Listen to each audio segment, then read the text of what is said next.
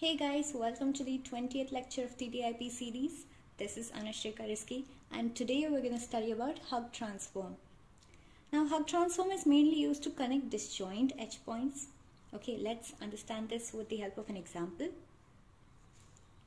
Suppose we have an image here.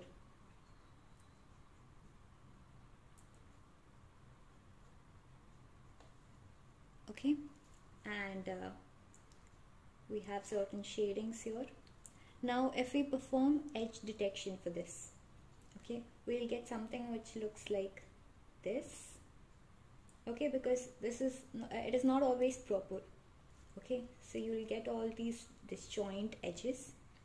Now let's let's just look at this part okay. Let's just zoom into this part. We have something which looks like this right? Now we want to fill this gap right? We want to fill it up. But how do we fill it up? How do we ask a computer to fill it up? Okay as humans we can do but for computers it's difficult. So that's why let's look at this. Suppose we have points here and we have these two lines okay? This point suppose it is 1 comma 2 and this is 2 comma 3 now if you remember the equation of a line it was y equal to mx plus c right? Equation of a straight line where m is the slope and c is the intercept of the line. Now how do we connect this? What we can do is that uh, suppose if you take any part if we take the xy coordinate xy coordinate and if we take this point okay if we mark it here then this point can pass through many lines right? It can have many lines passing through it right? The same is true if we take a line okay? So if we take a line suppose this line then there are many points which pass through this line right so if we want to find out if both of these points pass through the same line, what we can do is that this single point, we are going to convert it into a line. Okay, so for now, it is in the xy plane, right? This is the xy plane. So we'll take this point and we'll convert this into an MC plane from xy to MC plane or CM plane, whatever it is called. And then suppose this is the line for this point 1 comma 2 and this is the line for 2 comma 3 then both of these intersect which means that both of these are part of the same line right? And this point is the MC okay the coordinate of this point is MC so in this way we can know that both of these intersect the same line. Now how do we go about doing this? It is very easy. Okay we just take this equation and we rearrange it. So we take the c to the other side. C equal to minus mx plus y so we get this equation. And now using this okay for the x and y we just substitute this these points okay? And that is how we get the values of m and c. And once we get the m and c for 1 comma 2 and the m and c for 2 comma 3 then we can uh, using these M and C's, we can draw the uh, draw the lines, okay, for both of these points. And then if they coincide, sorry, if they intersect, then it means that they are part of the same line. So we can find out if they are collinear or not. Okay. So again, the same thing which I explained right now. Equation of a line is y equal to mx plus c. Okay. Now this is the image space where one line can have many different points. right? So suppose this is our x1 y1 and this is another point x2 y2 okay so this is the image space. Now a single point can be part of infinite lines right? This point we can mark many lines through it therefore we transform that point in the xy plane into a line in the cm plane. Okay cm or nc plane. So once we do that we get something which looks like this. Okay? So this uh, suppose x1 y1 was our point. Okay?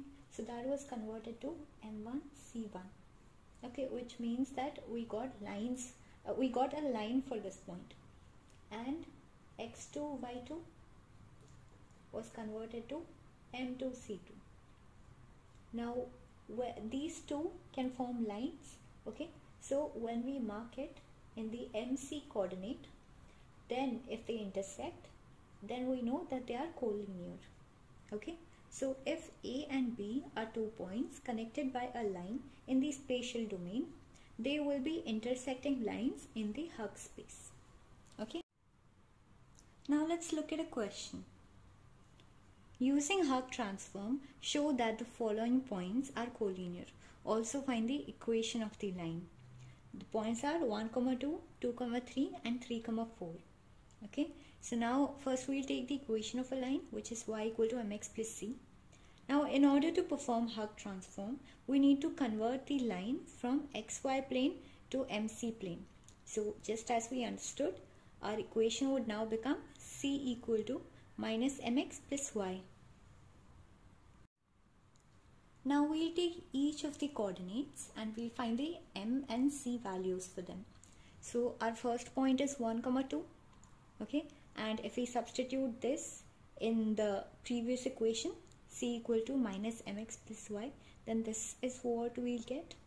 Now if c equal to 0 we'll get m equal to 2 and if m is equal to 0 we'll get c equal to 2 so we're just using the origin points to find out the values for m and c. So in that case our m and c would become 2 comma 2 right?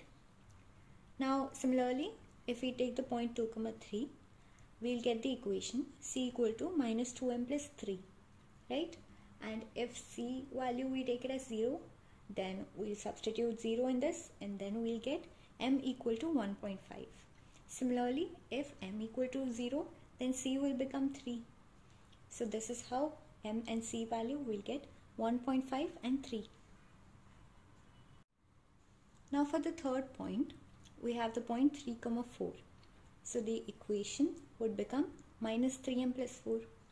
And if we take the origin values, if we take c equal to 0, then this equation would become 0 equal to minus 3m plus 4 or we'll get m equal to 1.33 similarly if m is equal to 0 we'll get c equal to 4 right? So our final values m comma c for this point would be 1 comma 33 and 4 now we have our m and c values for each of the three points. Now on plotting these points in the mc plane we get this graph. Okay how did we plot these points? This 2 comma 2 we took 2 here and 2 here and we joined both of those points. 1.5 comma 3 we took 1.5 here 3 here and joined both of those points.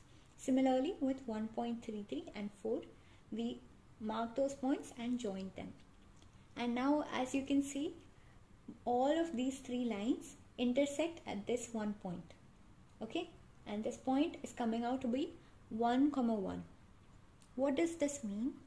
This means that 1 comma 2, 2 comma 3 and 3 comma 4 are initial points. All of these three points are collinear which means that they are part of the same line. Okay, so our original equation was y equal to mx plus c. Now to get our final equation, this 1 comma 1 we're going to substitute in this equation and that is how we get our final equation. So y equal to x plus 1 is our final equation. As a final check, you can even take each of these points and substitute in this equation. So suppose if you take x value as 1, you'll get y as 2, right? So this confirms that this point lies on this line. Okay, similarly, you can take x value as 2, which will give you y value as 3. So this also confirms and even if you take this point, x value as 3, you'll get y value as 4. So this also confirms that all of these points lie on this line. That's it for this lecture. I will see you in the next one.